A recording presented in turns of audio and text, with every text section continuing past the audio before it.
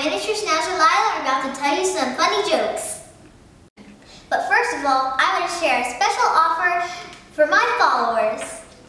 Check out these adorable Lilly Pulitzer inspired keychains. I got these from wowsozen.com. So this one has one of my pink lip balms, and this one has one of my dollar bills, and this one I'm still trying to decide because there's so many things you could put in it. I'm happy to share a coupon code with my followers, Cupcake15.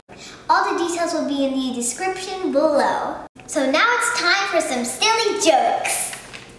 What do trees and dogs have in common? They both have bark. Two.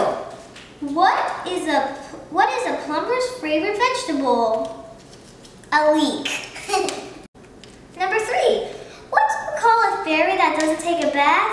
Tinkerbell. Four. How does the gingerbread man make his bed? With a cookie sheet.